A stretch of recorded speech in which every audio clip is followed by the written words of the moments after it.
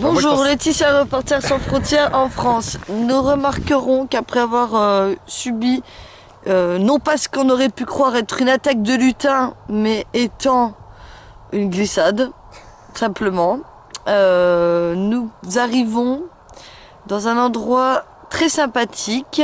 Je vous laisse découvrir par vous-même. Alors ici, nous avons en vallée J'ai j'ai pas avalé moi. Je veux même pas manger.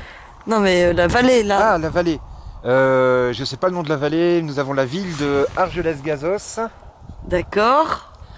Là en bas c'est Agos Vidalos. Ok. Euh, entre les deux je sais pas. D'accord. Euh, tout là-bas, tout là-bas, tout là-bas dans la montagne, on voit ça part dans la vallée, c'est Cotteret. Uhum. Et là c'est il y a Sousse là derrière et juste avant c'est je ne sais plus. Ah oui, je ne sais plus. Je connais plutôt pas mal. Il y a des villages qui s'appellent comme ça un peu partout en Un peu France. partout en France, oui, je ne sais plus. Regardez ce soleil magnifique.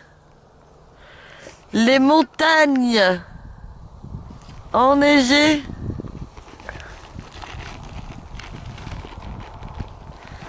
Ça c'est beau. Là on a du grand moment. Ce petit feu là-bas.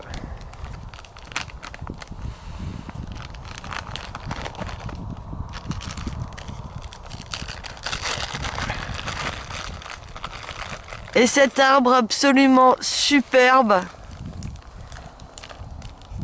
Voilà, nous avons fait une petite pause euh, vitamine et nous allons redescendre au village. Ce fut une expérience palpitante, enrichissante et verdoyante. Voilà.